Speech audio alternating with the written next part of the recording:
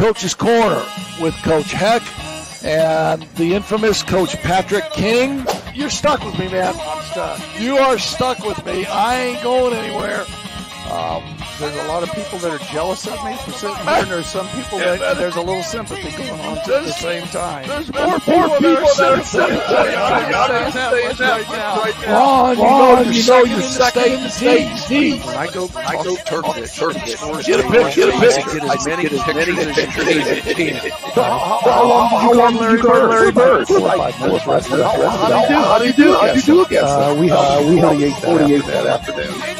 You ain't that you ain't that good. Scotty Scotty report said you were pretty good. You ain't that good. good. Oh, oh man. Are you kidding Are you me? kidding me? Good afternoon to everybody. We are here at Bar Louie this week for our April edition, the Final Four edition, Final Championship game edition of Coach's Corner. Welcome back. Welcome Well- back from Mexico. I made it through Yeah, customs. I, I want to talk about that. I just, made it through I customs want to talk about fine. that just for a minute because um, last week we did a show from um, from Mexico uh, and uh, we had we had Pat on and we, we and we tried to tell Pat. Um, I mean, I mean, my feed and Scott's feed, everything was cool, but we tried to tell Pat stop drinking tequila about five, right? I, yeah, I At did. five. Right. Okay. You know, I mean that. I mean that'll give you two. five o'clock your time or my time? Yeah, we forgot to tell you which time. Which time zone? That's our fault. Now, honest to God, it I was fine. It was all. I'm going to blame it all on Mexican technology, but uh, uh, no, I was perfectly uh, coherent, and I was waving that empty glass around. But you, you know, it made for Yeah. a good prop. Yeah, no, I mean, and I, I didn't think anything of it. I swear, I thought you were really cool, but when, but when we lost you for about ten minutes, and then I saw Pablo Escobar Run run, across the screen, looks like he was chasing Did you. see I the thought- two military guys with the AK-40s I behind said- him? I said, man, there's some wild stuff going on No, that's in Mexico, no, but that's hey, all East Coast stuff. We'll Hey. talk, talk to Allison here in a little bit uh, about the East Coast of Mexico. Uh, uh, hey, but I will tell you though, I will tell you, and I don't want to hear anything about it because what they always say is what happens in Mexico Yeah. stays in freaking Mexico. Okay, okay. All right. That's that's, All right. that's where it stings. I hope you had a great so time. don't ask me, so I don't have to tell I you hope the you had a great time. I, I have no idea why you, it looks like you got uh, a, a handcuff marks on both wrists, but I'm not even going to ask you about Some- it. I'm not bruises. asking you about it. Yeah, they, they use plastic handcuffs. by Okay, the way. all right. Hi, by the way, hey, uh, we're going to get started. We have a great show planned, and I we're going to talk to Allison Hayes. Uh, she knows everything about everything when it comes to athletics. She's she's great. She's a a a plethora of athletic knowledge. And then at about seven thirty, we're going to talk to um, one of my really good friends and coach, and Joey Luce, uh, and Joey Luce and Matt and Matt Painter have been best of friends for a long, long time. And and uh, uh, Joey is actually at the Final Four, and he'll be talking to us from from the arena tonight uh, at about seven thirty, which will be four thirty their time, Right.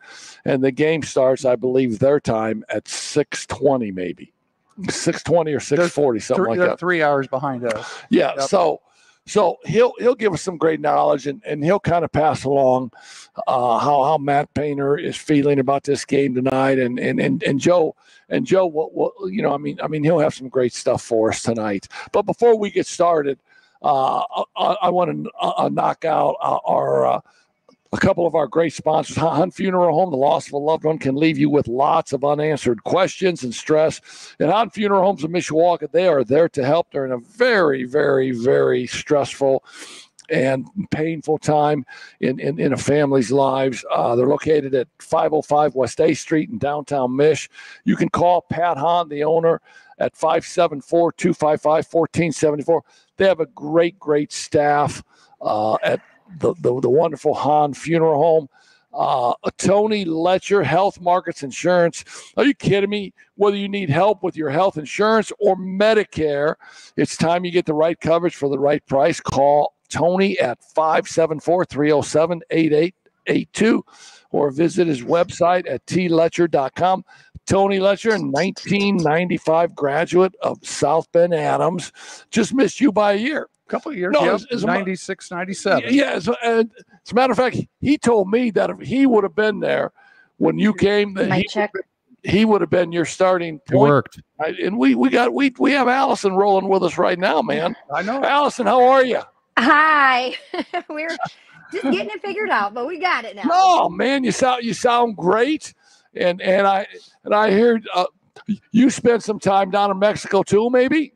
I did. We just got back from Cancun, and I've been to Puerto Vallarta and Cancun, and I gotta say, I mean, you can't go wrong, right? If you're you're going to Mexico, it's all good. Yeah, I I- think I so. love the water and the color in Cancun. And you know, it's funny. My husband would try to get me to go for years, and I was like, "Oh, that sounds like you know, spring break, 1982. No, thank you." and he finally got me to go to it, and now we go as much as possible. I I absolutely love it down there. Well, Well, we had a show last week from Mexico, and, and, so, and so we started our show at seven, and, and and and we told Pat, Pat, stop the tequila by about five, will you? Well, we forgot to tell him five our time. Oh, We got him on the show. He he had to leave the show for about ten minutes. Pablo Escobar was trailing behind him as we we, we, we couldn't find him. he's trying to think, Yeah. and Jose Cuervo was three steps behind him. Yes. Right? Stop. Yes. God. No, no. And I say, what happens in Mexico stays in Mexico, right? Hey. But I'm I'm I'm I'm a little curious why he's got the handcuff marks on both wrists here as we're doing the show. Well, I, I don't want you to talk about that. It stays in Mexico, Every- okay? You believe it or not, we had we had a nice time. We stayed at a really nice resort uh, north of the airport, and uh, safe as could be. Uh, you know, there's military around, but you feel safer with the military because you, we were about in a gated community, and we we went for walks every day right down the middle. They have a walkway bicycle path right down the middle of the four four lane street there in the area, and uh, we took taxis everywhere. And you know, you finally started to learn how much a peso was worth. So uh, I think this year it was actually pretty good. I think it was 14 pesos to a dollar because we've been there before when it was inflated up to 18 and 20. So I don't know if you changed your money over or not, but Uh, we didn't. I, I- I think. I mean, we at one point we actually rode a city bus, which was an experience during rush hour. oh boy, Uh, yeah, I don't know if I would uh, recommend that, but it was actually it was really cool, and we and we had our, our kids and everybody with us. oh boy. But uh, we got some change in pesos, and then I was like trying, just trying to get rid of them before we left. yeah, that's where you leave it with the housekeeper. All right, I gotta Right. ask you this- I got to ask you this question, Pat. All right. So, and and be honest with me. I mean, was it a nude beach where you were at? No, it was not a nude beach. It wasn't? No, it was a family. There was. You'd be surprised how many families were there. Now, most of the people on our side of the coast were were West Coast people. I don't know how Cancun is. If you were thinking about where everybody was from, but uh, most we had a lot of uh, British Columbia people. Uh, win, not Win- Winnipeg, but uh, Vancouver people, uh, Seattle, San Francisco. Uh, that that part of the country compared to talking to people from New York or Boston or you know Detroit Yeah. like that. We had all the East Coast people, and we did have some Canadians, uh, but a lot of people from like Jersey were down there. And actually, we ran into people that we had mutual connections with from Michigan because we live. amazing. It, yeah, so Niles is the state line between South Bend and in uh, Indiana and in Michigan, and we it was crazy. Like we're having we were doing karaoke one night, Right. and we meet these people that knew us, and I was like, oh no, I oh dear, nobody's supposed to know me. that's right.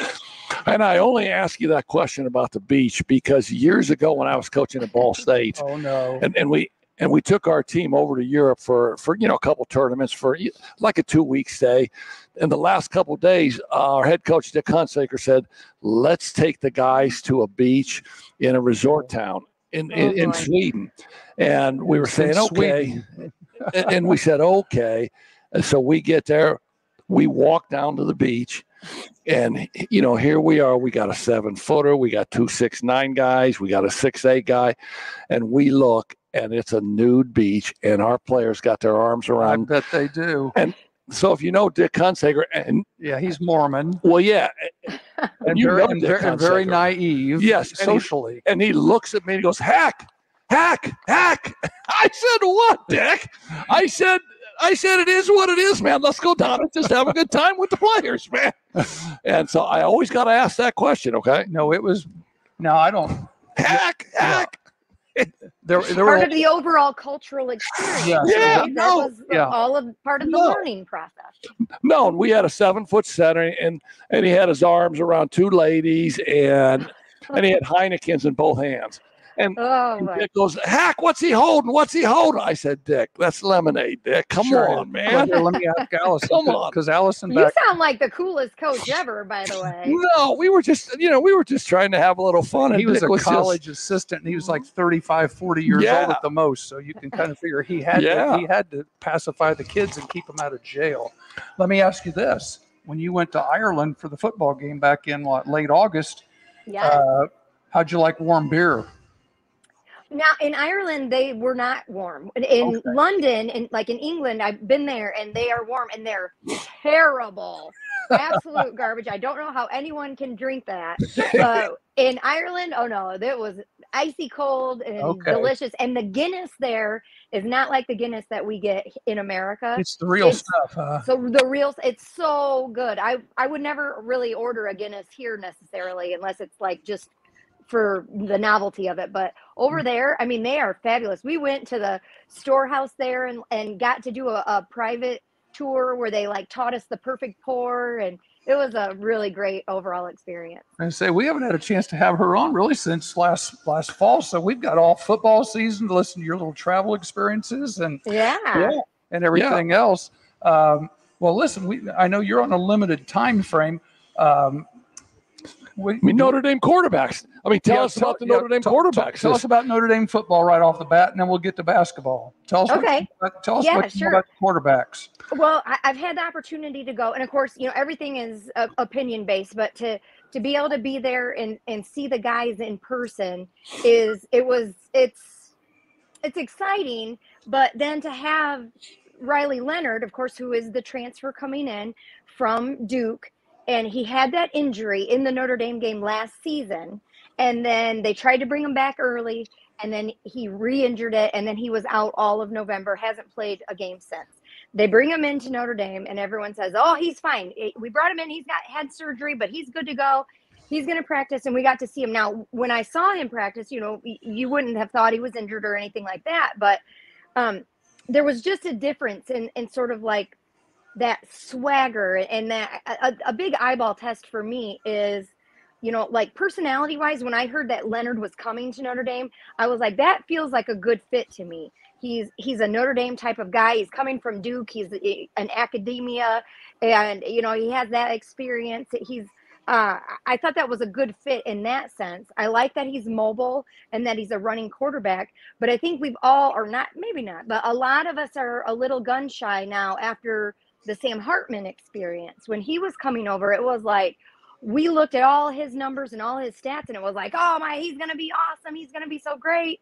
And then as the season progressed, it didn't quite pan out the way we all had hoped. And it was like, you know, if you go back and look at his at Sam Hartman's stats, he had a ton of interceptions against some of these teams. But it was like we, did, we didn't really pay attention to that because it was like, oh, touchdown, touchdown, touchdown. And I don't know if it was just the way Gerad Parker was game calling and play calling, and it didn't work for him, or just wasn't the right system or the right fit, but it just didn't quite pan out. So now I find myself much more reluctant to to Okay, jump on board, uh, you know, head first, all in. I'm this guy's going to be great. He's going to be awesome.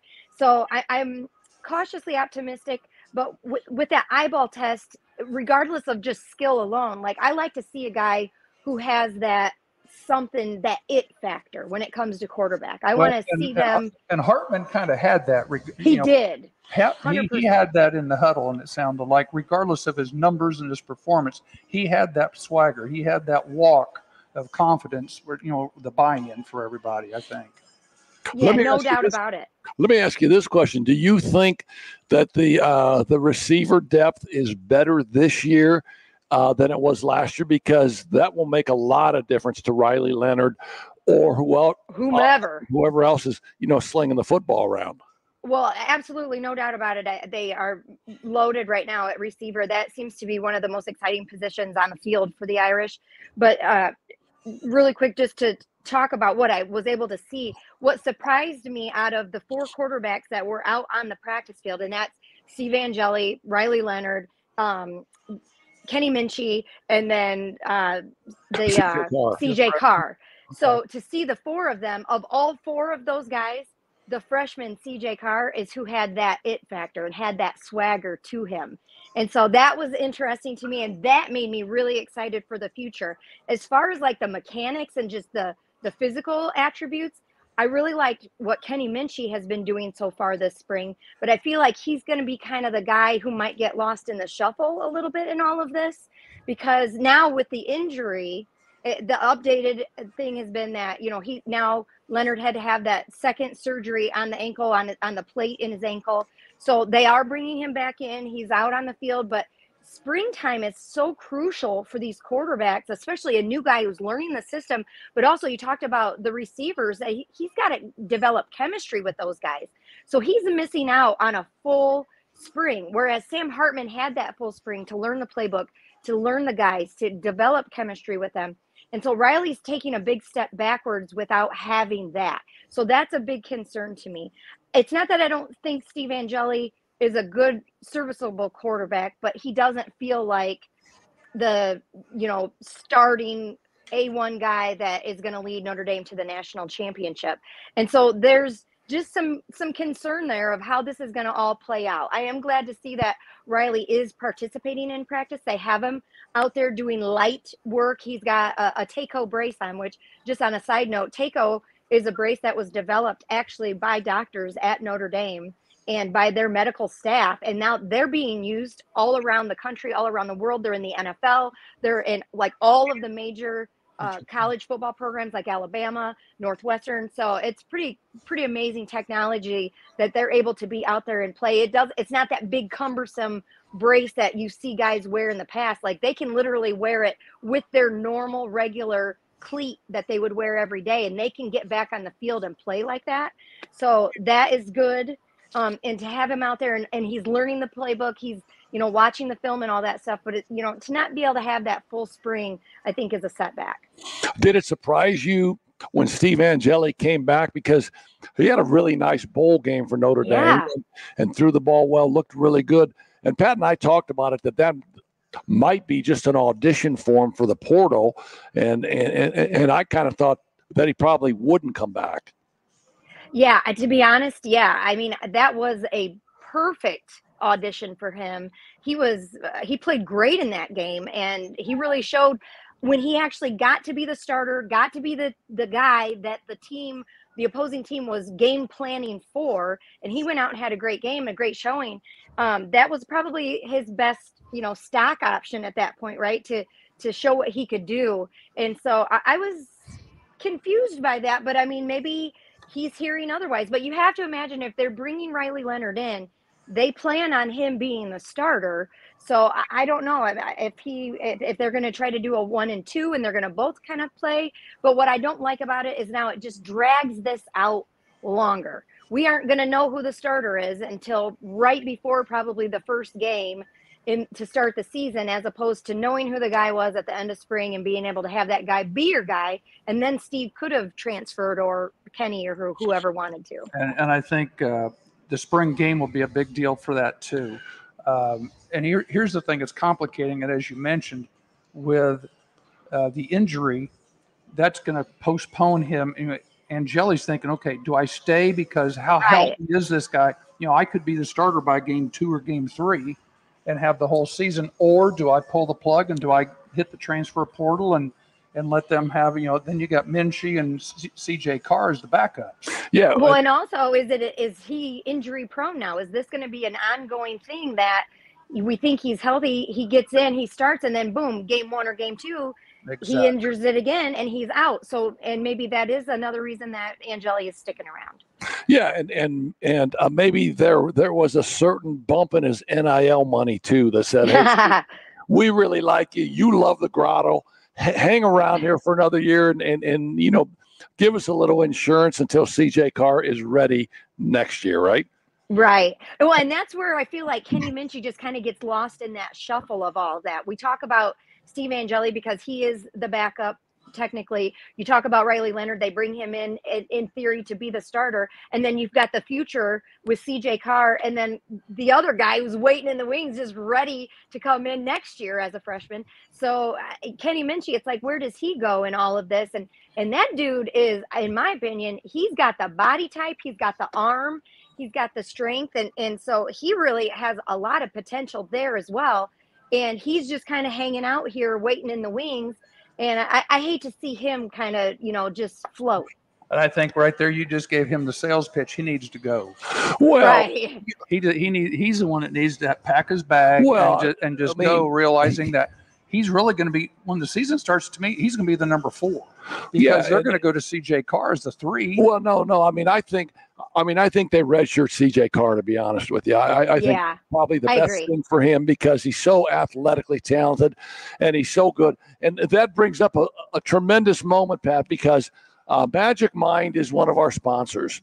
Okay, Magic Mind is a it's a it's a little bit of a drink that reduces your stress. It, it steadies. It gives you calm energy. It gives you focus and clarity, Pat. And it, it I mean, the benefits build daily. I'm, so I'm focused. so I uh, need some of that. Magic Mind. Uh, it's a- a magic, mushrooms. Mind. You, hey, you're up in Niles enough. You can go get these at the corner store. magicmind dot Oh, there it is. There's the look info. it up and if you if you punch in coach's corner you get a 20% discount now here's the deal with it i've been taking it for a little over two weeks and my my mind my stuff is rolling like i would never have said kenny mitch you got to go i would have gave kenny the benefit of the doubt a little bit but right now i think you need to down this right now I, man I thought I was right on target. He needs to go. I, I could. I should be his agent. He, well, he needs he's, to go. he's got to have a place to go, and Yeah, if he, you know, if he performs in, in If the he's blue gray good as if he's as good as Allison, yeah, if he's as good as Allison says he is, somebody's waiting Yeah, for him. no, not his money too, man. There's a phone call waiting there's on there- him. I can hear there's him right money now. involved. Uh, Talk about the game tonight, Allison. What do you think about the Boilermakers and uh, the UConn Huskies? Well, well, I would like to start off by saying I, I have covered Purdue over the years loosely when I worked for the Big Ten Network, and then you know now I'm with the ABC station in, in South Bend covering Notre Dame. But earlier this season, I traveled to West Lafayette and I did an interview with head coach Matt Painter for a story, a feature story I was doing on Notre Dame new head coach Micah Shrewsberry and their relationship and their the tutelage that he got from Matt Painter. When I was talking to Micah, I mean, he was going on and on about how much respect he had for Matt and how much he learned from him and how what a huge role Matt played in Micah becoming a head coach. And, you know, Micah did two stints at Purdue under Matt Painter. He worked with him as an assistant coach and then he had left. He had gone to Boston Celtics with Brad Stevens, who he was an assistant coach with at Butler prior to Purdue. And then Painter talked to Micah and said, you know, if you really want to be a head coach in college basketball, come back to Purdue and I'll help put you in position. And so it's a, a really interesting story. And we can, if you go on my social medias, which is just Allie Hay Sports, um, and you see some pictures of, of me with Matt there Yeah, there it but is. uh, yeah, talking to Matt, he could not have been more cool, more laid back. I, when I went there to talk to him, they were the number one ranked team in the nation at that point. point, and you, in in the sense of like, he didn't have that entitlement. He didn't have that like air about him. Like he was totally cool, totally open to whatever we. I wanted to talk to him about. I finished up that interview about Micah and um, I was like, hey, you know, we do this one segment called Fast Break, and it's just kind of fun and you know, kind of off the wall questions, but it's a get to know, know you piece. I was like, would you be cool with doing that? he's like, oh yeah, sure, no problem. Where do you want to do it? And he's like, hey, come this way. Takes me and he's like, opens up the whole court, Mackey Arena. Lights are on, and we just walked up and down the court. And I'm asking him random questions like, you know, what do you do in your free time? And he's like, what free time? What does that mean? I, I don't have any hobbies. But you'd be surprised to know he's a huge Chicago Cubs fan.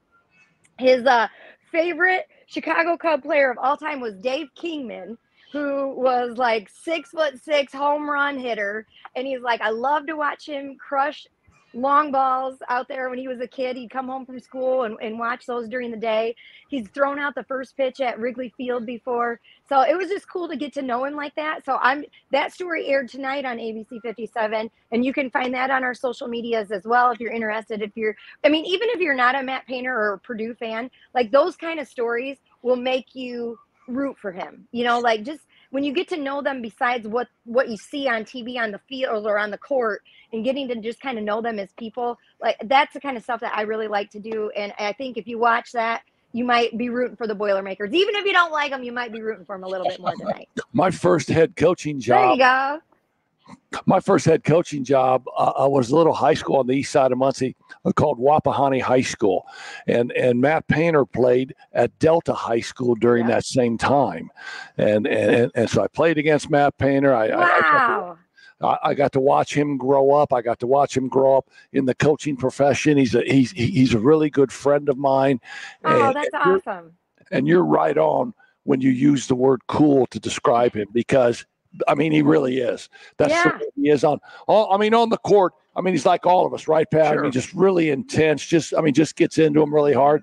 But off the court, he has a great sense about him, and, and he has this understanding that that he that, that he's not all this in a bag of chips. He's just a normal guy, man. Absolutely. And I think you kind of see some of that reflected in his players as well. Like watching Purdue through the tournament this year. And I mean, they just have kind of kept their cool and battled through things. And I think a lot of that, you know, you get some of you take on the personality of your coach a little bit. Another thing that Micah Shrewsberry said that he loved about you see him there throwing out the first pitch, but uh, that he really appreciated and is taking like is learning from him is the way that Matt Painter recruits. He doesn't care what your star is. He doesn't care if you're a four star, five star, three star, whatever. If you're a guy that fits into his system, that fits into his team, his chemistry that he's got, he's going for you. And I like that about him too. And you see a lot of Indiana guys in that starting lineup. Well, that's for sure. I mean, what they said, tw- there's 12 players from uh, Indiana that are in the final four. And I think 10 of them are Purdue yeah, no, no, no, exactly. And, and, and they're guys, and they're guys that are good players. And uh, I mean, Matt takes them and, and he makes them what – he wants them to be with his team and, yes. and how they need to fit in. Last year was tough for him because those two guards were freshmen. And, yeah. and those and those two guards never played that many games. And at the end they hit the wall. And, and it was very noticeable to see that. Uh, this year, those I mean, those two guards are a year older, mm-hmm. and uh, they ain't hitting any wall, man. I mean, all they're doing now is hitting shots. So, so who do you got tonight? What's what's your take on the game tonight? Well, when I filled my bracket out, I, I did have Purdue going to the Final Four, but I had them losing to Houston, and uh, which I obviously was wrong on that. And then, but I did have UConn did, going all the way. I had Houston, so did you? Yeah. Oh yeah. I'm in but last. Had, I'm in last place, by the way, in my bracket.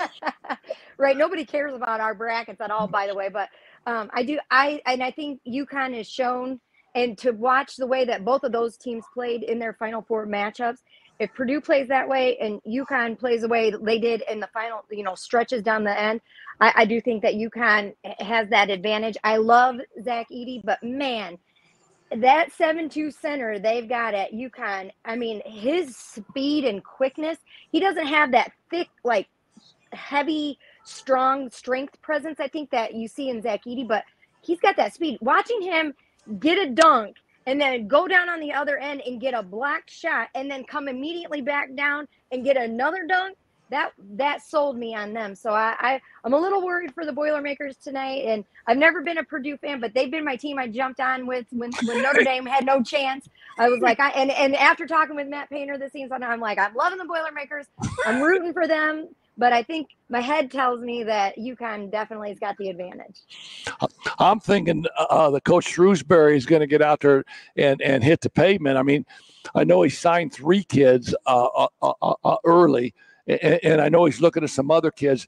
I mean, I really like the way uh, the men's team played at Notre Dame from a toughness and, and a physicality standpoint. Now they just need to get some more players and you look at the way they i mean his number one goal he said right from the start was defense. He was they were going to be a defensive minded team and they bought into that. And you know he took a lot of criticism well i won't say that. I don't actually think he did take any criticism but when they got beat by that team oh gosh, who was it? Uh, a team they had no business getting beat by, and they got blown out at home. Notre like Dame Georgia, did. like a Georgia Tech. no, no. We- Early in the we- Oh, season. back in beat Georgia Tech. December. Back in December. Yes. And he he lit them up in that press Uh, conference, that's and he said, yeah. "If you guys don't want to be here, I'll help you get into the transfer portal." And you know, they could have crumpled after that. They could have been like, "I I don't want to be coached that way." They don't. They're sensitive. You know, players nowadays they don't want to talk be talked to that way. But those guys responded. They came out and they won. And, it was at Virginia, and I mean, and they put it on them. And it, we saw them then, you know, take step backwards and then take step forward but the way they finished out their season was strong. You saw a lot of promise. And Marcus Burton, God love him. If you can keep him in South Bend and he doesn't try to leave early, he doesn't have that size, I don't think yet for, for NBA. But man, he is a really great young player and he's got all the tools that you need. And he had to carry the load as a true freshman and to have that experience that he got this year and then to have more pieces filling in not having to play walk-ons they really the future is bright i love what micah shrewsberry has done so far and i think the future is really looking positive for the irish moving forward They just need to find some big men. Yeah, no, they got Yes. some bigs. I mean, athletic bigs. And, and and the thing I like about Marcus Burton is is he can. I mean, he doesn't know he's only five ten or whatever he is. He thinks right he's six four. And and and the one thing that he does so well, and, and I say this all the time about great guards, he can stop on a dime and leave change, and he's got the, and he's got that little pull up game that, that he mm-hmm. and and he doesn't have to get to the rim. I mean, at 15 feet, he can make that all day mm-hmm. long, and, and, and they can't get to that shot. So, so I think he is a great player. And I mean, if he stays at Notre Dame for three years, I, I say look out for Notre Dame. 100% agree with you yeah i mean when they're playing a guy like and no disrespect to matt zona but when you're when matt zona is a guy that is now heavily in the rotation out of just pure desperation and you're playing two at eh, sometimes walk-ons in the game i mean he just had to fill the, the roster with spots you know matt zona was a guy who wasn't playing before and he really shouldn't be playing probably right now you know so Yeah, he's- Annie, he's- he's- Annie, yeah. Annie, let's just those minutes need to be done. See him, Matt, have a nice career. right exactly I will say whatever you want me to say. It's your next school, man. Hey, talk about Hannah Hidalgo for a minute. I- oh my god! I mean, the women's team. I mean, had a great year, right?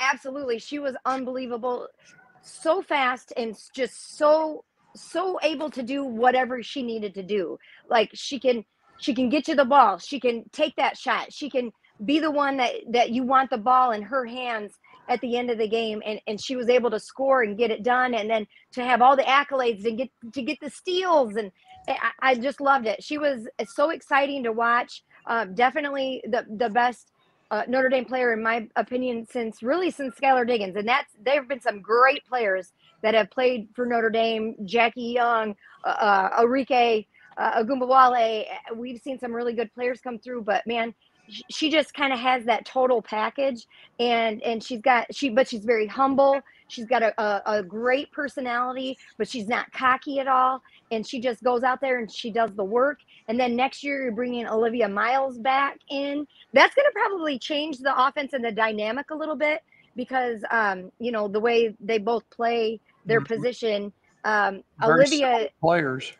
right, and, and but Olivia is going to be able to get the ball to people more, whereas uh, Hannah is going to want to you know penetrate and score more. So I, I- it'll be interesting to see how they kind of work that dynamic and if you can get the two of them on the court at the same time. But I think, man, they they're they're looking really good. I've seen some early preseason uh, for them at like number three. So Right. we'll and you, if you can keep them healthy, uh, Yes. Well, you got with with Westbeld, and you know, I th- I really like Sonia Citron. I thought she had a great tournament. I hopefully hopefully those girls will stay.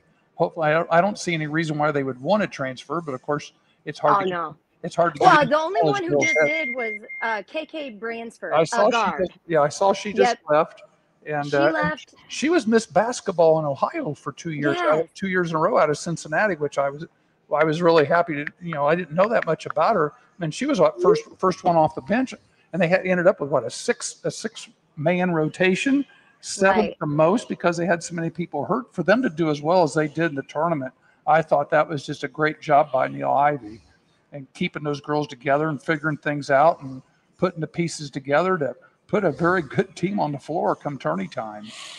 Hey, Allison, we want to thank you very much for coming on and, and, and first of all, classing up our show. I mean, we got a couple of slaps like me and Pat doing this, and your knowledge of, of, of sports, I mean, is impeccable. You're great with it. And, and, and thank you very, very much for coming on and, and, and uh, being a part of it tonight. Oh, I really appreciate it. And uh, I, I, had to lock myself in the bedroom. I'm literally in my bedroom right now, in my bed, hiding from my children. But we got her in here. We got it done. And I appreciate you guys having me on. I say, did you have, were they home today for the eclipse? Did you have, or do you even know?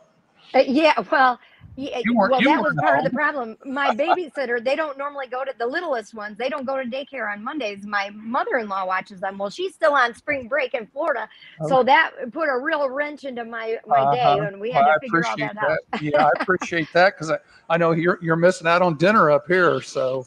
Ah, that was the killer. Uh, you so, know, I wanted to go to Bar. I know. So we, we got get we'll get a rain check on that one. We'll, I tell you what, maybe we'll get you back up here in late April, early May. You can talk about the yeah. spring game again or something if you have a chance. That would be great. I would be more than happy to do that. I appreciate it, Allison. Thanks. Thanks, Allison. See ya.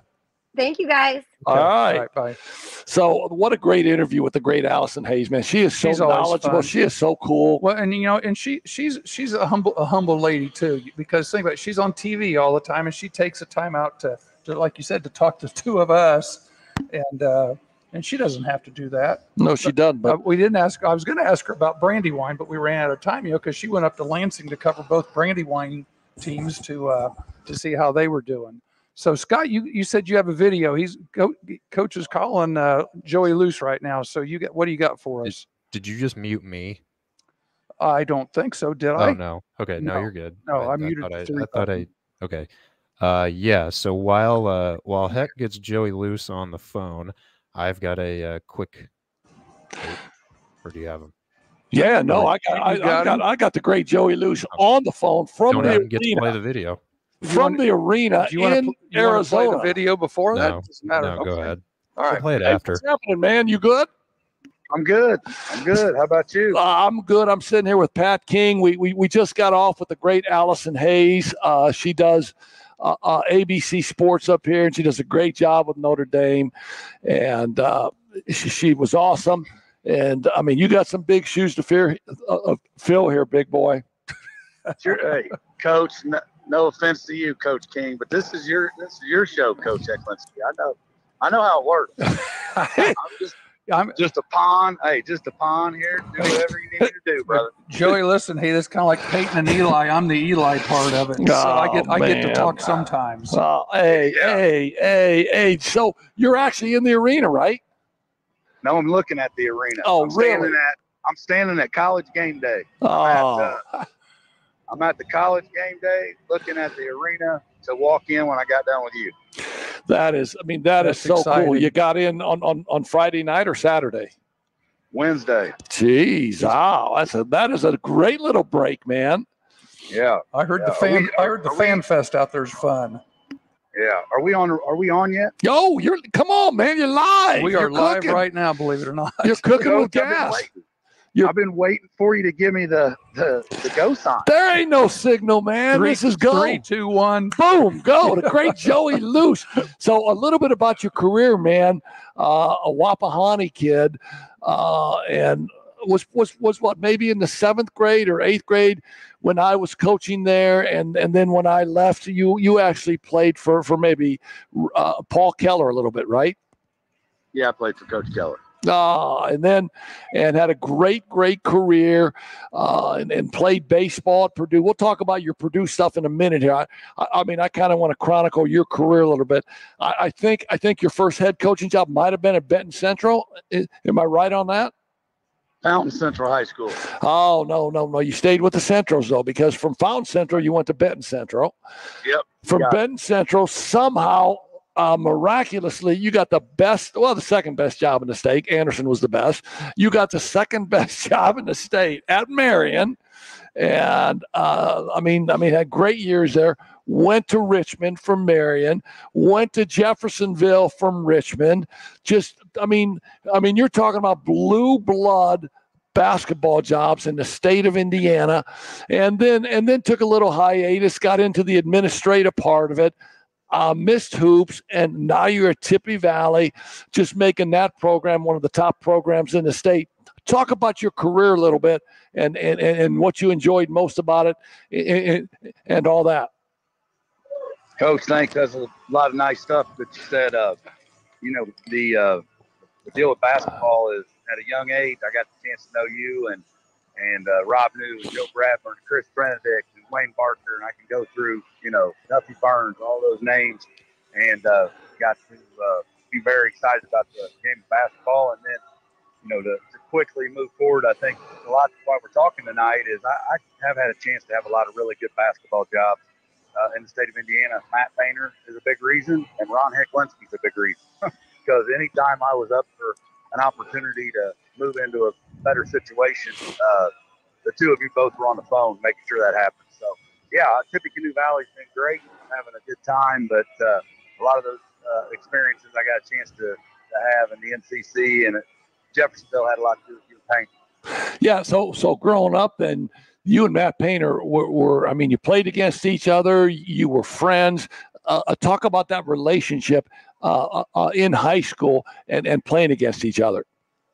Second grade uh, YMCA basketball. It was Matt Painter, dad, and uh, Joe Luce's dad coaching against each other. And I'd love, we, I, would have loved to see that. We, we, we, tipped it off. We tipped it off in second grade, and the Y was the Y was a great program, but uh, they both had the same visions, and they took our Wapahani team and the Delta team and they went to the boys club. So from the third grade on, we competed at the boys club, and and uh, I had a chance to play you know, a lot of basketball against Matt, and with Matt, with little little league baseball. We got to be best friends when we were 10, 12 years old, and and uh, you know, five years old. I've known him six, 10 or 12. We started staying on at each other's house every other weekend, and here we are. I got a chance to come down here and watch him coach. Uh, national championship game. Uh, my son, you know, be a part of the uh, coaching staff and the bench tonight. Tommy's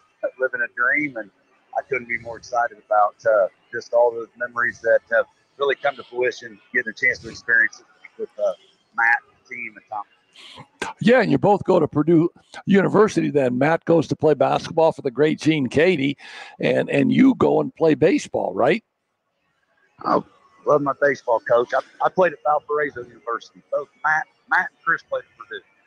Uh-huh. My brothers. And but Valpo was right there. So coach, uh, Paint would come down. He'd watch us play at Valpo, and then I'd always get up to Purdue games. I got a chance to hang out with him a lot. Uh, you know, I got to know, you know, I got Cuonzo Martin, one of my you know good friends. I got a chance to to know through Paint at a young age. I just saw Cuonzo uh, night before last him and uh, Brandon Brantley, we got a chance to sit and talk for a long time. Getting here early has been amazing, and uh, a lot of that goes back to again the days when Hank was at playing there, I was coming to be a part of the Purdue stuff with him as a player.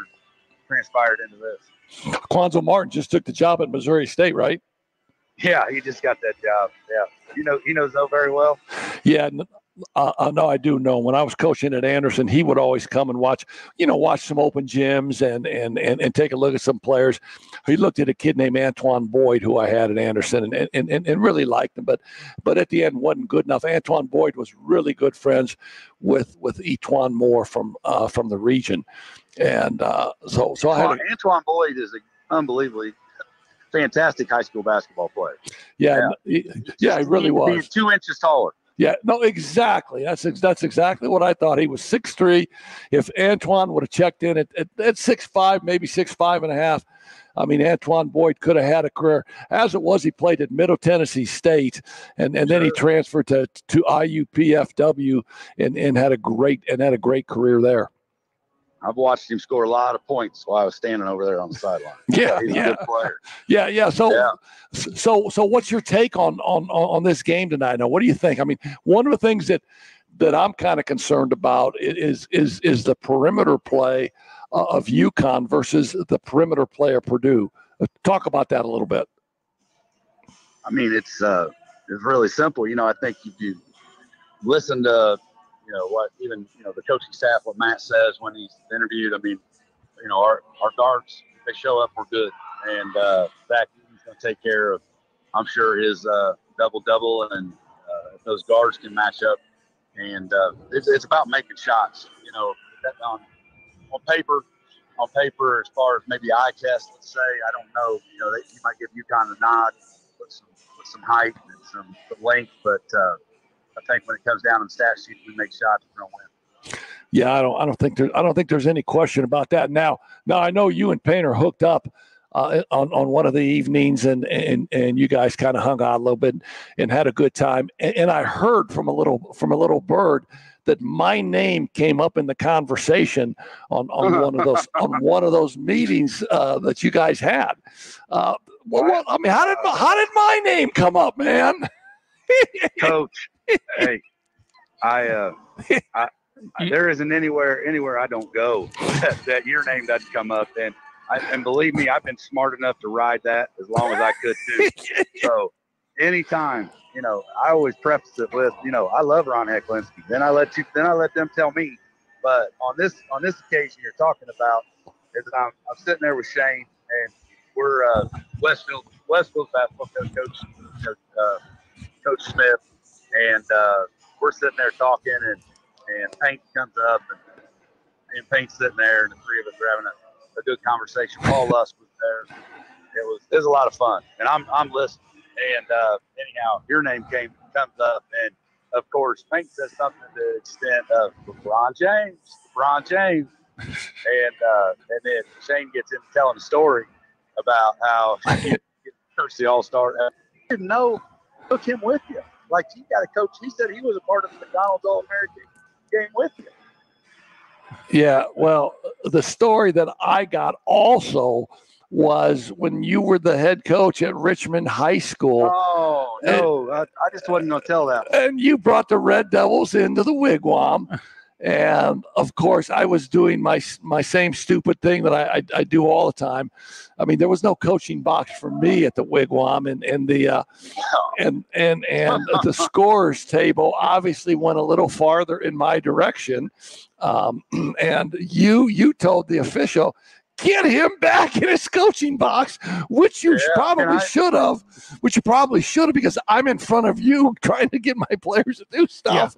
Yeah, he crossed half court on me one time, Joe. So when I was down there playing, yeah, the, the, the court it, it was it was the box literally went across the the half court. I mean, it was it was right there, and yeah, you're supposed to be apologetic. You're yeah. supposed to be apologetic because you got in the way of Ron Hecklinski. I I blocked him out one was, time. Who was coaching? The score, hey, the, the clock keeper told us to move one time when we were when I was coaching down there when I was at my South Bend Adams team. So he I, didn't finish his story. Pat. Yeah, you ought to hear the end of this one. Well, no, well, he, no. So, yeah, go ahead, finish it. You can tell it, man. I said, Coach, sit down. You know What What are you doing? Get out of front of me. Sit down. And he turns around right there in front of me and all those fans, the whole bit. He said, Joey Luce, I'll whip your ass right here in front of everybody, everybody in this gym. He said, You sit down. I said, Coach, you can't do that. And you remember, you remember who uh, comes running over there and stops the game and tells us that we better stop it because you called me out in front of everybody? No, no. Who was it? It was Shane, uh, Twin Lakes. Uh, Oh yeah, yeah, yeah, yeah, yeah, yeah. The official, yes. He did. He did my game too when I was there. Yeah, he did a lot of our games. Yeah, he said. He said he does all coaches. Shane games. Shane Frank. Shane mm-hmm. Frank. I think. Shane I think. Frank. Yeah, yeah. I think he he needs. He should have had an Anderson varsity letter jacket. No, no, but well, but no. They ran out of they ran out of the ability to print those jackets up for the officials that ran through there on his tail. No, but then he says, "Grow the hell up, you two guys! Get to your yeah, sides." He did. Grow so the then, hell up. So then it quit. Then to finish the story, it stopped. So Pat, so it was done. We coach our game. I don't. I think I think they won. And and so in the handshake line, he gives me the handshake and holds holds me up.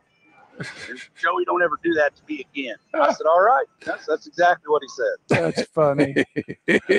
well, so so I think I think one of the great things, um, uh, you know, in the game or I mean, in sport, in any sport, is I mean, it is an entertainment business and and when you're and when you're going against you know a friend of yours like you and me were going at each other and and we could play that and we could play that up a little bit i, I thought Oh yeah. I thought I thought that was really cool because because the look on the people at the scorers bench, a guy named Jack Graham, a guy named Doug Vermillion who who did the PA and and the five rows of people behind the scorers bench.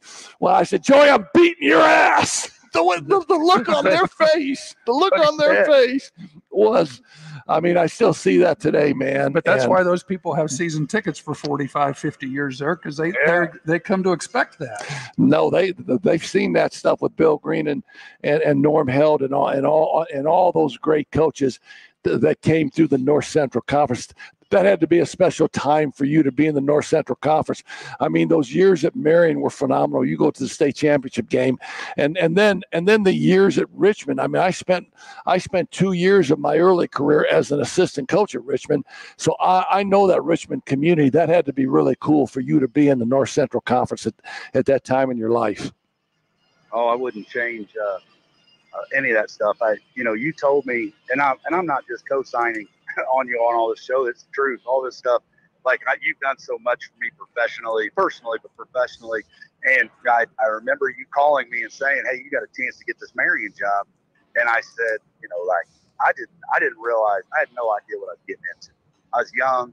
Uh, Rocky Kent was the athletic director and you know Jim Brunner had a big deal to do with it. You talked to Brunner for me. Hank talked to Rocky. I ended up getting hired, but the North Central Conference is old school throwback stories. I should I, I could write a book about my 11 years in the North Central Conference, and uh, it was it was quite a time. But no, it's uh, it's different. Uh, sold out gyms, you know, people people coming. You know, when it mattered at the end of the year, it was big time basketball. And, I th- and I think that's where we are right now tonight with Purdue because Purdue would Yeah. paint.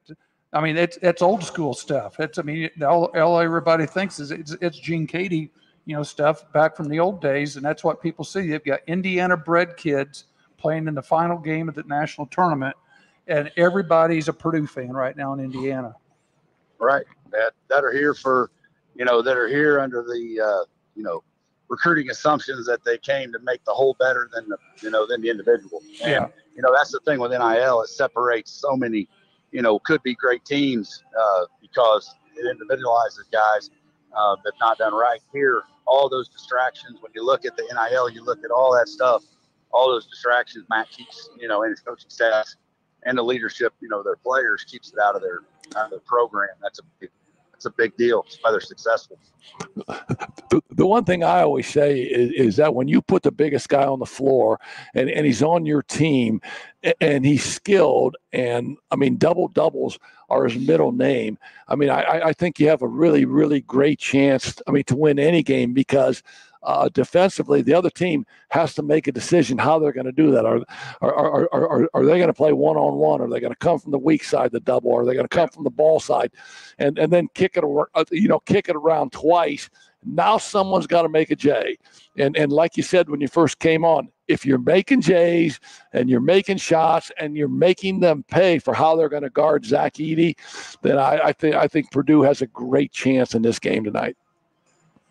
I, I totally agree, and uh, it'll be interesting if they go the other way, and uh, just to see, you know, which one of those bigs outplays each other. I mean, Zach's player of the year the last two years in the country. I'd, I'd like to think that uh, that goes our way, but depending on how they decide to start, which is every game Purdue's played for the last, you know, what two and a half years, uh, will really have a lot to do with how the outcome, you know, turns out. Your brother's team at Wapahani had a hell of a run this year, didn't they? Oh man, they weren't bad. They were good. They, they were fun to watch. Uh, Isaac Andrews, the Indiana All Star. You know, he's got to be an Indiana All Star, and, and uh, I'll, I'll tell you, man, it was a fun team. But uh, Benner's, Dave Benner's a heck of a coach, and Jack Benner's a great player. That was a tough combo for them to beat. Yeah. Yeah, you're going to get a chance to watch him the next few years too. He's, I mean, he's a Matt Painter guy, right? Oh yeah, Yeah, Benner's- I love that. way, Yeah. Yeah, I love that. How's your mom and dad doing? They're good. They're good. They are uh, home. They'd probably tried to come. They weren't, uh, you know, getting a little experience. They putting on some age, so they wanted to watch it from home. Yeah, no, hey, hey, please give them my best, man. Your mom and dad are great, and and, and your dad was, you know, was on the school board of Wapahani. Your mom and dad are great. I mean, your whole family's really cool, and and you're hanging out in Phoenix with your lovely wife, man. And uh, you know, enjoy the night, man. And uh, uh, uh when you coming back? Coming back on Wednesday morning. Uh, good for you, man. And enjoy the break. Get back at it at the Valley, man. Get your spring workouts going. You're going to have a good team next year again, aren't you? Yeah, we should. Yep. Yep. Disappointed how this ended, but we'll be all right. Yeah, no, I mean, I mean, 17, 18 wins is, I mean, that's the norm for you now. Now you just got to get some tournament success there, like you've had everywhere else, man. Hey, you're the best, Joe. Thanks for taking a minute and and enjoy yourself tonight. All right. I enjoy listening to you guys. Thanks right. a lot. Take care, Joe. See you. All right. See you, buddy. All Love right, you, Joe. Yeah. Bye. All right. Same to you, coach. Bye. Uh, he's he's he, I mean, so Indiana basketball is full of characters, right? Yep. And and uh and, and you playing at Anderson, I mean, you saw those characters straight up. Oh, Sam sure. Alford, uh, Bill Harrell, Muncie Central, uh, all those. I mean, lots of them. Yeah. yeah. And I mean, Joe, I mean, Joe Luce fits right in there. He's, I mean, first of all, he's a great coach. His, his team is going to win a lot of games. He's animated. And, uh, you know, I mean, that, I mean, I mean, what we said was a true story. He says, he says, heck, sit down. and then he tells the ref, hey, sit him down. And I, I, I walk over there in front of his bench because I'm real close anyway. Oh, yeah, you're real close. I, walk, I said, Joe, I will beat your ass if you ever tell the ref to tell yeah, me to sit down. People don't understand how the scores table at Anderson at the old wigwam, at the, I'm going to say the old wigwam, was off offset toward me. Yes, toward the visitors. So it, the entire scores table was on my side of half court. Yeah. So because of that, my coach's box went from like the maybe the three point line down to out of bounds. Uh, and my coach's your coach's box court. went from half court to out of bounds, or or or, or I down mean, to the sta- down to the stage on that around the corner on that given game wherever I wanted it to go. Right, yeah, exactly. And, and, were, and, what official would say, "Hey, heck," I say, "Stop, man! Well, this all, is a wigwam." All I remember was one time. You were at my bench getting it. You were drinking out of my water bottle at the scores table. So I went down to the other end got a water bottle from Kim Wood. Kim, Kim's looking at me like going, What are you doing down here? And I go, Well, heck's down there. I figured I'd come down here for a little bit. So no. I was down at your bench getting water bottle. I was getting a water yeah, bottle no. talking to Kim Wood, who was your stat man. And today, and today, people get so uptight sometimes. They don't understand. Man. Uh, and and no, I remember that. Well, I, we, you go to my side, yeah. and I go to your side, and, we, and then we walk back from there. Yeah, and we just up, kinda, Pat? How you doing, man? We just walked back, and we were kind of following the game. Oh, I know, man. Those those were the good old days. I'm going to take a minute here. Hahn Funeral Homes, they're the absolute best. Pat Hahn uh, owns Hahn Funeral Home located at 505 West A Street, downtown Mich. You can call them anytime at 574 255 1474. Stop in to get answers from the local funeral professionals about your funeral needs. Hahn Funeral Homes, a family serving families. Well, we all know how good Tony Letcher is, and uh, health markets insurance, whether you need help with your health insurance or Medicare. Now, now I know you're on Medicare, right? On Medicare, yes. I, am fixing maybe to look into that a little bit. So I'm, I'm going to go meet with with Tony, and uh, I mean it's time to get the right coverage for the right price. Call Tony at 574-307-882 or visit T Letcher at tletcher.com. Magic Mind, man, are you kidding me? I've been taking it, I don't know, two and a half weeks maybe, and I can just really, really tell a difference on how much more clarity I have, how much more focus I have. How, I, I mean, my ability to, to remember things uh, is just a, is it's amazing to me actually. Uh, I mean, my, uh, my reduced stress level, uh, my steady, my calm energy, uh, my focus and clarity. It's great stuff. So, uh, I mean, pull up uh, magicmind.com. If you want to order it, Coach's Corner, uh, 20 for a 20% discount. And I'm going to, so I, am going to, I mean, I'm going to, you're going to give me some of that. Well, well, uh, I mean, this right here. And I may say, Pat, I want you to drink this on the air. Just right now. I mean, drink it on the air, and you're going to drink it, and you're going to say, yeah, man, 1972, I had 18 against Logansport. I mean, I had 18 and 12 against Logansport. I can tell you right now, 1977 at IUP or or, or at IUPFW, whatever that is Whatever in Fort Wayne. called. Yeah. I went for 27 and 22. IPFW. IPFW. I went for 27 and Now- 22. Now it's just Purdue Fort Wayne. I, Yeah, I can't even tell you what on I had for. I mean, I mean, I used to not be able to tell you what I had for breakfast. I went for 27 and 22 in Let me- 1977. I'll- I'll- Let me ask you a question. Do you remember Ask where me. you were in 1979, the last time we had an eclipse? in 1979, the last time we had an eclipse, I was the freshman basketball coach at Knox High School in Knox, Indiana. I taught health at Knox Middle School, and I had an absolute blast. I live, I I lived on Bass Lake. I had a cottage on Bass Lake. I was 22 years old, had a cottage on the lake, and you know what I thought? Life doesn't get good. any better. I went to college and I got a degree. Now I'm, I'm living on a lake. That's funny. So yeah, That's so if you would have asked me that a month ago, I would have fumbled around and said, "Well, let me see where I was. Let me see," and I, and, and I might have figured it out, but That's funny. I just jumped at this right. I mean, right off the table I know.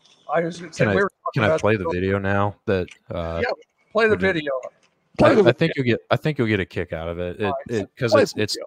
it's Tommy Luce. So I thought uh, oh, having yes. having having Joe on would would be a good that time to. that, weren't you? Yeah, go for Yeah. it. But I can play it now. Here we go.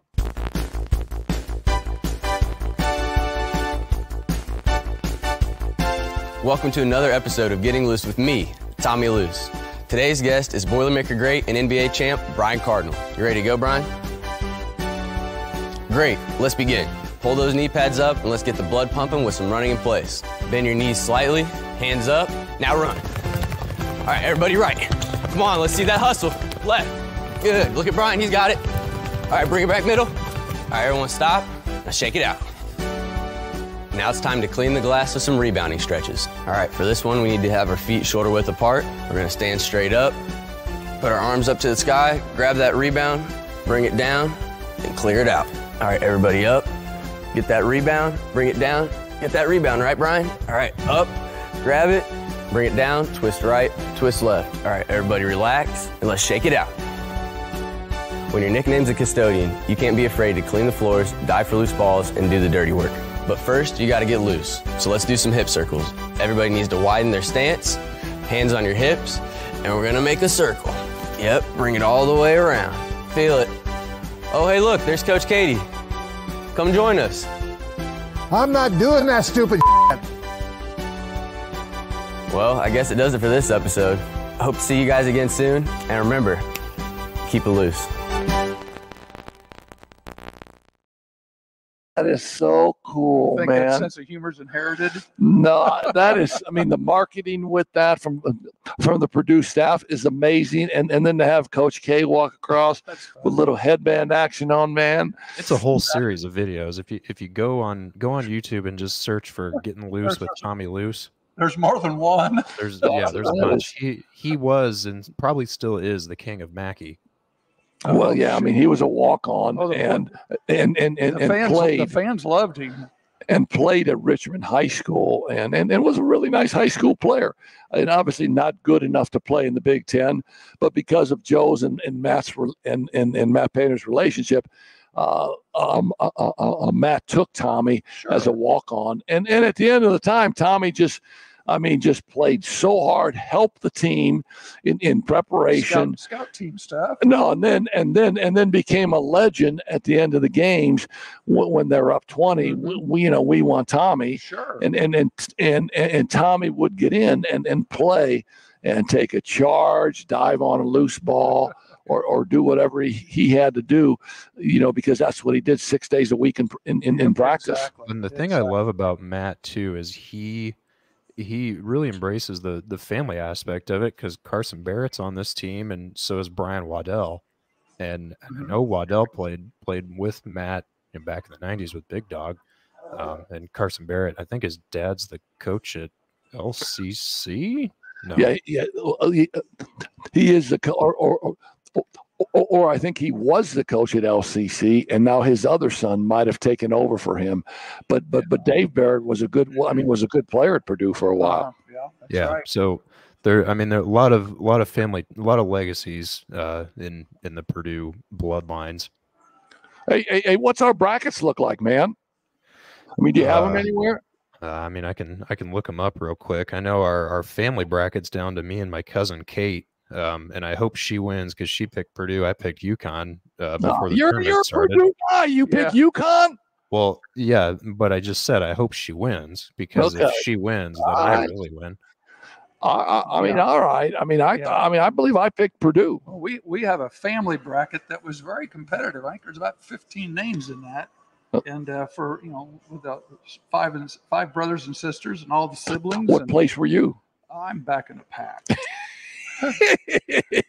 that's a, that's another reason for I am- match I am mine, back in man. That's another reason. I got past third or fourth and I quit looking.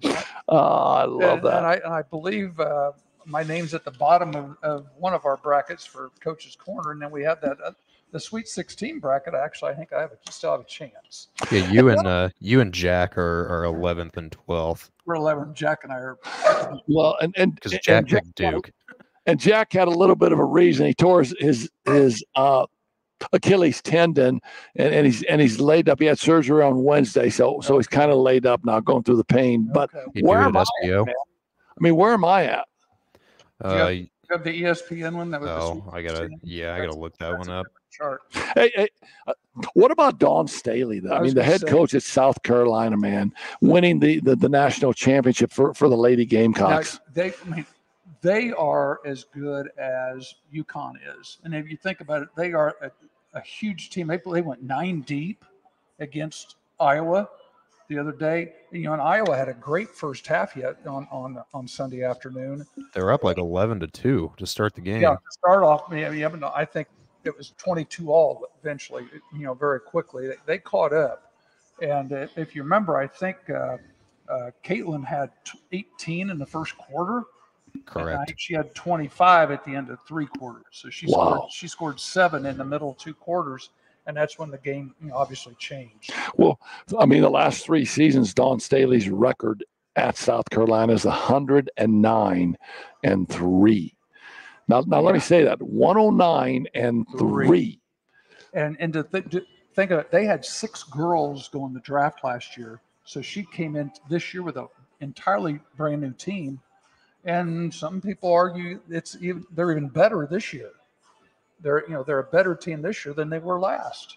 So Yeah. I think they said they've so they've won what sixty some and they they won sixty some games in a row. I, when's last, well they got beat last year in the final four, didn't they? Iowa Iowa beat them in the I think like, they lost. I think they lost in the title game, didn't they? uh no that was The LSU. because it was LSU and Iowa. Iowa beat them in the in the in the uh, Friday night game, the Final Four game, and then Iowa and LSU were in the finals last year. So they've been Final Four, I think, three straight years, and won won two of the two of those three. When you talk about Iowa, I mean, you certainly got to say that that uh, that fan base uh, has had a great, I mean, a great time watching Caitlin Clark play and and cheering for her and watching the success that she has had with that program. And and now obviously she she will be the number one pick Yeah. of the of the Indiana Fever. And the Indiana Fever's season tickets have skyrocketed. Oh, good. the, the, thing, the thing that I'm kind of disappointed in is how some of these pros have reacted Yeah. Did you did you see what Diana Taurasi and uh, Sue Bird were Bird. saying about her on the on the simulcast? Now they might be right, but to say what they did, I mean, here's the next generation of, of girls that are going to take their, her place, and Yeah, don't you want to lift up the sport? They're giving her a hard time. I mean, that girl has done more to advance. Mean, a program that uh, a year ago, two years ago, three years ago, uh, we watched the game maybe, and now it's it's been these last few weeks. Yeah. It's been must. I think see. they had like 20 million people, or maybe not 20, maybe like 13 million people watching yesterday. exactly. And and, and, and why are they watching? It's because of her. The the girls from Noah Cardoso is very good too oh, from and, South yeah, that- Carolina. to have a six, Yeah, a six seven center in girls basketball that can play. Wow, um, why isn't she the number one draft pick? Well, and, and, and at the end of the day, at the end of the day, it's called progress. And uh, uh, the old guard, Sue Bird and Taurasi, they got to say, hey, we, we didn't have this. Okay. A Mhm. lot of people didn't have they it. should be thrilled But- to death. but the jeal- sport- I think they're and- jealous. Yeah, no, no. And, and I agree a little bit that you know, both from a financial standpoint, maybe both from an advertising standpoint of, of what these new players are going to get. But, uh, you know, a lot of players could say that, but it, uh, it didn't happen in, in their era. Right. And the players like Taurasi and Sue Bird, they were on the bottom floor, man. Mm-hmm. They were on the bottom They're, floor. They, and, they have a whole nother level of respectability because they are the ones that really established exactly things. exactly and now, and now, this group has taken it to the next level yeah and and and the money yeah i, I mean the money is there now. I mean it wasn't there. And even when, when when they first started in the in, in the WNBA, you couldn't make a living uh, on that salary in, in in what the four month schedule, the five month schedule. So to make the living, they had to go overseas. They go, they go, to Europe and they're playing 12 months a year. Yeah, yeah. That's why Brittney Griner was in Russia getting yeah, no, exactly. put into exactly. a gulag. Trying trying to get back home. But now I don't I mean I don't believe that they need to do that now because of the well, did you see I, Ice the Cube offered Caitlin Clark like 60 million to go play in the on three league. Yeah, no, I, I think I, I and and and I don't know. That would be a sideshow, but if if, yeah. if they're going to offer you that kind of money, yeah yeah, the I mean, for ten clears, games, for ten games, go. Right. I mean, go. Well, and, and uh, I guess we can do the argument: is this money going to carry over to the pros in the WNBA, or is this a college thing right now? Because we, for the last six weeks, we've been telling you, a lot of these girls are making more money in college than they, because if it's money's coming from the college, then than they will in the WNBA. So that's why they've stayed. Well, yeah, and and and plus, once they go to the WNBA, they're going to have money coming in. Right. I mean, before they were they were 22 year old college seniors that, that really didn't have a dime to their name, mm-hmm. and and now they counted on on their money and their marketing that they were going to get in the WNBA. Now they're coming in as established almost millionaires. Right. I mean, coming in to go play. And Clark's still going to be in those State Farm commercials. Yeah, yeah. I don't think there, well, I don't that, think there's any question. And that's what I was saying. Where is their money coming from? This someone call for an old pacer. Yeah, and then you get Reggie Miller in the background. no, I, I saw that. So, I, so I cool. tell you, what, girl, I think girls basketball is just well, fun. Here, let me let me ask you this: Do you do you think it it yeah, matters at all? I love that. Do you think it matters at all that she didn't win a, a championship? D- does that affect her, her no, legacy at all? Of, of I don't think so at all. I, I, think. I mean, she's the she's the best women's basketball player I've ever seen. Yeah, and I, I don't think that that really matters because because what matters is the number of Caitlin Clark jerseys that everybody's buying, mm-hmm. and the little girls that are running around saying that I, I want to be. I want to. I want to play basketball, not volleyball. If if if, if Caitlin Clark uh, I mean, if her name would be associated with any summer camps, mm-hmm. those summer camps would be full. Oh, sure. with, you know, with, with, the little girls, and and and and we all saw. I mean, in our in in our sport, when the Michael Jordans and the Larry mm-hmm. Birds and the Magic Johnsons went through, and I I think. I mean, the girls are catching up with that now, and and, and I've said this now the last couple years.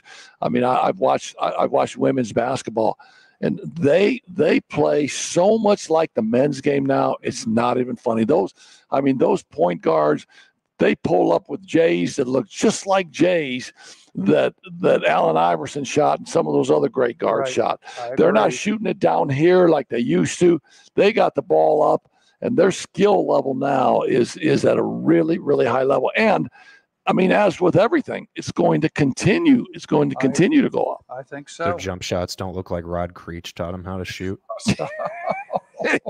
That's a name out of the past. Yes, it is. Jeez. Yes, it is. Hey, let's talk some baseball. Scott, do um, run my little Fricks car back. We need to do our Fricks commercial. So let me let's see. What do you got? Car, I mean, what do you got? I've got my road team. We're gonna. Hi.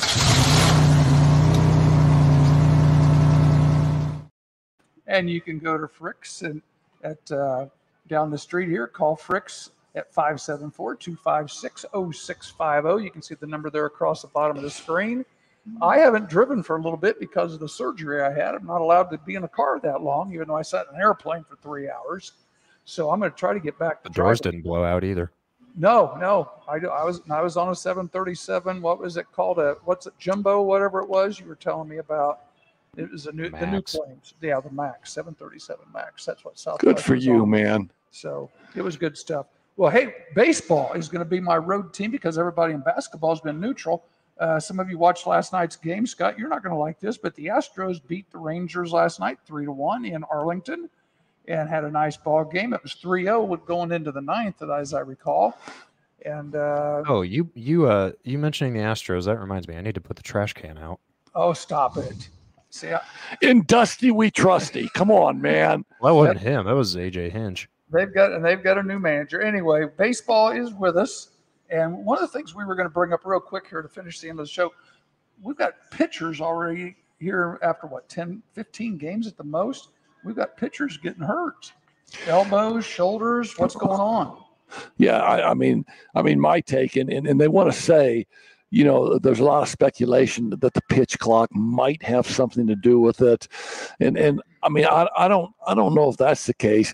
I, I mean, I think the emphasis uh, uh, number one on spin rate.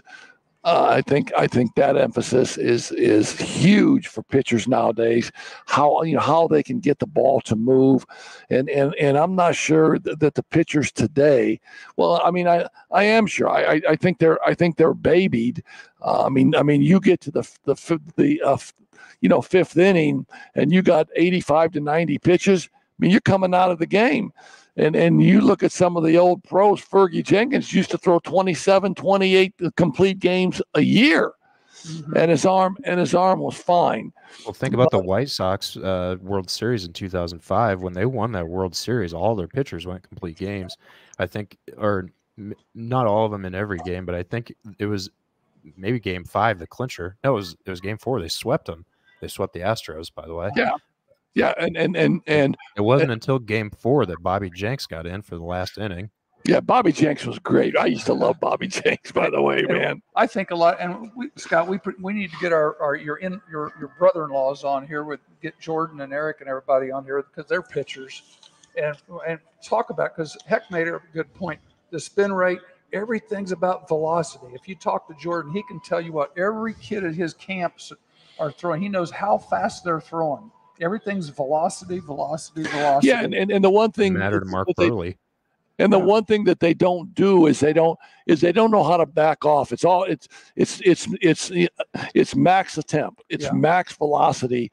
And, and and sometimes and sometimes if you throw 98 and you want to strike somebody out, it's great for 98 uh, a mile an hour heater, but the first pitch at the at bat can be 96. Right could be 95 or 88 or 90 you know? yeah i think that's why justin verlander has been able to keep his career relatively healthy is because he, he never really dialed it up until until he got later in the games when he got warmed up because as a as a former white sox fan having to having to face the the pitching rotation of max scherzer justin verlander and then rick porcello Verlander would throw maybe 92, 93 in the first inning, but by the seventh inning, he was pumping in 99, 100.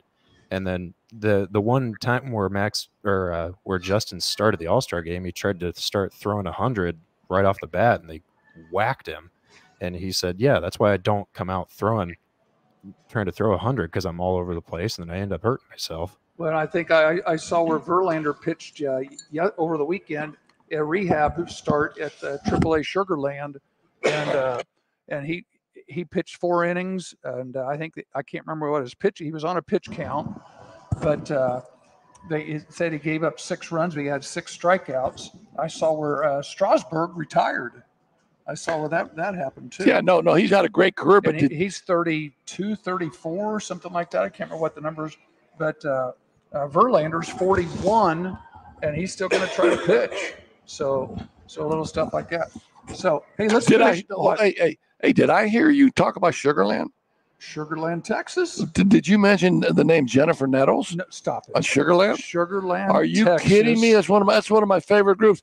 I kind of want to end this um, a little we bit. Got, we got basketball coaches. Yeah, yeah I mean basketball Let's coaches on the move. The big news taking. Here's what uh, I'm to let, let me start this off. Isn't it interesting? Here's the night of the final game of the basketball season, and who are who is everybody talking about today? It wasn't Purdue and UConn. It was Calipari. Yeah, John. I mean, John Calipari. His timing is just perfect. Well, I mean, they get beat the opening round. He's been he's he, he's been in the UK forever, and he's he's you know had a couple bad years lately, and he gets you know the proverbial vote of confidence from his AV, his AD, his his college uh, chancellor, or, or, you know, or whoever, and um, he's he's never used to getting a vote of confidence.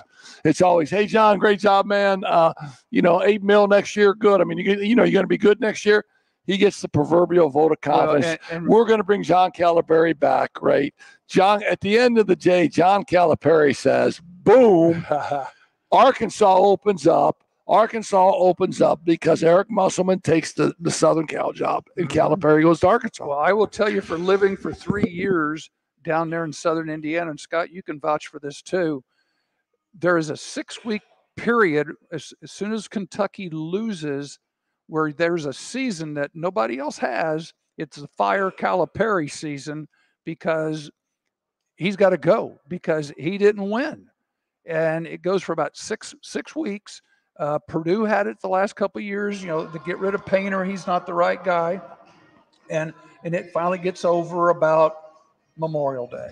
I don't but, think anybody serious was was actually wanting no, Matt to get fired. But, but, but, that's just but that's just the base down there in in. Uh, in but you get the uh, you get the crazy people that call into Kentucky sports radio in Lexington. And, down there in Lexington, I mean that was we were close enough. That's all you hear about. Calipari's got to go. Yeah, Calipari's got to go. And, and, and that so was going on ten years ago when we were down there. And so and so he beats the posse. Good. I mean, good for Calipari, man. I think it's a great. I mean, he's always been about he's he, he's been about money. He's he's been about making the big salary. He, he he's about you know the NIL. So so he goes to Arkansas. So uh, Jerry and, Jones. He's yeah. got Jerry Jones the booster. He's got Sam Walton from sure. Walmart. and, think, and, think and the Tysons that own all the chicken the chicken people. Yeah, yeah. So, no, no. Yeah. I mean, Sam the, Walton's going to say, "Hey, hey, John, take your family to Walton." The pocket. I mean, Walmart. The pocket is as and deep get what in Arkansas. And somebody was mentioning today. That's a million times deeper in Arkansas. He was the second most powerful SEC team for basketball. It's not Tennessee. It's not Alabama. It's not any of those people. You've got Kentucky, which is number one. The argument is is it Arkansas. Arkansas well, might be the second basketball program in that as far as support from the people. So he went from one deep pocket to another. No, and, and think about it. He gets to reinvent himself. He can get rid of the one and done. He can go out and do what Deion did at Colorado, go out and create his own team. He he can take the two or three people from Kentucky that he wants. The rest of them are on their own.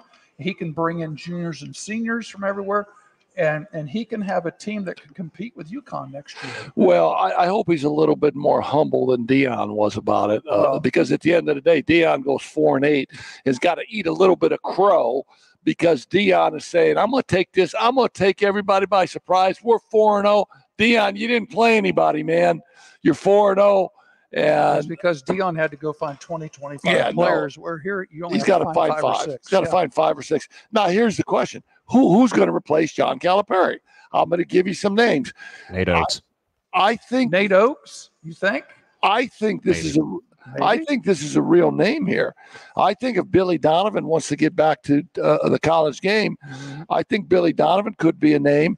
Will, will, Jay Wright want to get back in the game? I don't know. I, I don't know why no. he would because I don't, I don't, think he wants to mess with the with the, the behind the scenes. Yeah, his his blood pressure is probably pretty good now. Mm-hmm. I, I don't think Chris Beard's leaving Ole, Ole Miss. I mean, I, I, I, mean, I think he had a pretty good year. I don't think Dan. I don't think Danny Hurley is going to leave UConn. Do you? No, I don't. No. Think, I don't think his brother's. I thought he's an East Coast guy. Yeah. Now here, let me throw a name at you just to throw it up against the wall. Thanks. Do you bring Pitino back? They were talking about bringing him back at Louisville. Do you bring him? No. Do you bring Pitino back to Kentucky? No, I, too I, old. I'm just asking. Exactly, because I, I, I do believe this. I believe it. I believe it. I believe it. I believe it. I do believe with NIL and all this, it's a young man's game. Right. I mean, I mean, I really do. I, okay. I think, and and and I've so got another name when you get done. If they if they were to bring Rick Pitino back, they would have to have four Assist. tremendous assistants. Uh-huh. Who, who okay, who's your other name? Bruce Pearl. I, I mean, I don't, I, I don't know. I mean, Brad I thought, Brownell. I, I, mean, Brad Bruce Brownell Pearl, I thought Bruce Pearl would be a good fit at Louisville. Yeah, I mean, well, I mean, what about Red Auerbach? Oh no, he's. I not, like. sorry. I like. I, I would not surprise. Bill Russell. Pearl's name Bruce Pearl. You're a smart ass man. I like just the Billy Donovan. Just like me, man. Hey, I'm ready. I'm Hey, hungry. hey, I think hey, it's going to be Nate Oats or, or Bruce Pearl. Oh. Yeah, no, I, I think I think Nate Oats would be great, but he just signed a huge contract in Alabama. I mean, the great chill. I mean. Eddie Schilling ends up at Yes. I saw that. That's one of our guys. He's Ends been, up at he's been sitting on the bench with Alford, right at, at Nevada. I Yeah, believe. yeah, and and so so Josh Schertz. And by the way, we would be remiss for not congratulating the Sycamores Wasn't that fun to watch on a great run that they had and winning that NIT and saying and stuffing it up that selection committee's rear end. Well, both teams too. Yeah, Seton no, Hall did the exactly. same thing. And- And, it and it's interesting. I had to watch those games on this very computer because my TVs in Mexico had no networks. Yeah. So Scott set me up on YouTube, and uh, we actually got to watch the game uh, live on uh, ESPN, and then we got to watch the uh, the Purdue game during the week as well. So we got to watch. And I mean, I, those I- are the only things we watched. We couldn't watch the news, nothing, but we did see Indiana. well, I mean, I mean, I'm kind of on, I'm upset for Indiana State standpoint because Josh Schertz comes in there, just does a great job, gets those guys playing. I mean, gets I mean really good players in there, and now and now he bolts for the University of St. Louis, and and and, and I don't blame him because it's probably three or four It's times to more go. the salary. what else is he going to be able to do? Yeah, no, exactly. Scott Hetty, uh, the head coach at Marion University, takes the, the University of Indianapolis head job. The Indianapolis coach went to IUPUI, which is now going to be called Uni- Indy, Yes. IU Indy. They, Yeah, they're changing their name, so he moved up a step. Here's the great one though, Now Duquesne that, now, that, University. de- now that degree just became worthless. yeah, okay. All right. All right. And for you and you and for you IU fans, that's our producer, Scott Yes. King. But listen, I think this is a great one. Uh, Duquesne University, Keith Dambrot was the head coach of Duquesne. Uh, Keith Dambrot was the head coach of Central Michigan for a while, was the head coach of Akron, was the head coach at Akron St. Mary's, Mhm. where LeBron James played. Right? And on on Keith Dambrot's staff at Duquesne was one of uh, LeBron's former high school teammates, Drew Joyce III, and and uh, LeBron and Drew played high school ball together, best of friends. So now, uh, Bronny James is leaving USC. Now, now, and I, I mean, I don't understand this. He he averaged four points a game for USC, Right. but he's going to declare for the NBA draft. Yes. Now you you've scored four points a game at USC. You, you've you've had a heart condition. I understand that. I think that played a little bit of a slow start at, at, USC, but you're not ready to play in the NBA.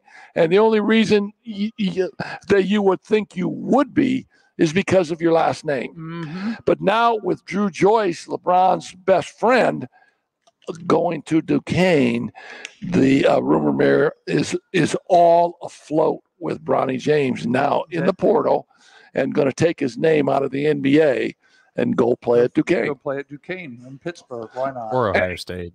And if and if LeBron and if LeBron doesn't like the way he's playing, I, I can see this. Hey Drew, this is LB. What's up, man? hey, listen, you know that 10 mil I gave for the program last week? I'm taking half of it back unless Bronny gets some shots. need, yeah, he needs more PT. Yeah. Hey, I want to thank the Black Sedan Band. Their music is phenomenal. I want to thank Scott. Scott, you've done a great job. This was this was an awesome show tonight. Uh, Allison Hayes was great. Uh, we busted you up a little bit up on your trip to Mexico, but Part of it. I mean, seriously though, I'm so glad that you and your wife had a chance to get away and enjoyed that a little bit. And and and really, the big thing is, I mean, there ain't no TV, Yeah. so you and your wife go up to the room. Hey, hey, let's put on Magnum PI. Ain't no TV. You and your wife got to converse and have a great time, I, man. I actually had to talk to her. Yeah, no. Hopefully she's not listening. He didn't say that, Becky. He, I said it, Becky. He She didn't had, say it. no, she had to talk to me. There was- you that was- go. that's more like it. And, Here, I just I got was a great. uh, She I had got to- a I got a comment from Q that I got to throw up on here because he's he's Throw he's about man. as he's about as ride or die as they get for us. Uh, he said the the Fire Cal season had more than enough ammo this year. Cal's recent track record in the in the March Madness. They haven't won a tournament game in four years and haven't won it all in twelve. That's enough for Kentucky. And I mean, I I agree with that. I mean, because people forget because it's it's the popular thing to make fun of Purdue for losing to double digit seeds, but uh, if if memory serves me correctly, uh, St. Peter's beat Kentucky before they beat Purdue, and it Yeah. wasn't like Purdue lost to him in the first round. That was in the second weekend. And and and if memory serves me correct, uh, Purdue's in the national championship game tonight, right? Yep. They get knocked out by Fairfield in a 116 matchup, Mhm. right? And, the following year, everybody, I mean, I mean, a lot of people said, "Hey, man, Matt Painter, great, great regular season, wins the Big Ten, can't get it done, gets upset by a 16 seed. What what are we going to do at Purdue?" Well, what you're going to do at Purdue is, is is stay the course and let man Painter coach him up because that's what he does. And now they're in the national championship game. Who you got? Who you? I'm throwing you on the spot. well, Who you I'm- got tonight? I'm taking UConn right. that's who I took last week because you took you were going to take Purdue. I'm going with Purdue for the simple reason that they got to they got to defend Zach Edey. Okay. And I- once once you turn your defense over to defend him, now now now they may say, "Hey Zach, get 30." We don't think anybody else can beat us, Mhm. and that might be their defense too. I, I I mean, I don't know, but I think it's going to be a great game. Danny Hurley, great coach. Matt Painter, great coach. Uh, I think it's, gonna, it'll be be a one of great the, I think it's going to be one of the best games we've had in years. That's what I'm hoping for. And it's Yep. We're we're getting ready to go watch it right now because If we're Braden we're- Smith scores more than three points and limits turnovers, if if if Braden Yep. plays tonight the way he did Saturday, Purdue's going to lose by 25. But if if he I- can, and I think this is this is the game where Braden and he knows gets gets on the map. I think so, he knows that. I mean, my my heart says Purdue, my head says UConn, just because I think Stephon Castle and uh, Tristen Newton are that that good. But I mean, who knows if the? I mean, it's like what Painter's been saying all weekend. If they limit the turnovers and rebound, I mean, they're they're as good as Yeah. anybody else. This is this is like the fifth time I saw it on Reddit earlier. This is the fifth time, and I think in like 25 years that the truly the two best teams have played for the national title. So I think regardless, it'll be it'll be a long good one. time since they've had a one and a one in the finals. Hey, hey, I mean, to our listeners tonight, thanks for Thank uh, tuning in. We've had a great time. Great to have you back in the States, Back big boy. And we'll do uh, this again next week. we'll we'll chat it up next week. More baseball. Uh, we'll talk about this championship game a little bit, and uh, we'll we'll find some things. I, I'm thinking maybe by next week we'll, we'll have some turnover in Indiana high school basketball, Yeah, right? I Coaching think in the is- coaching ranks. Coaching ranks will start to change around here too. Yeah. All I right. Hey, so. thanks for tuning in, Scott. You're the best man. Uh, Yep. We'll see you guys next week. Leroy picked Purdue. Okay. There you go. there you go.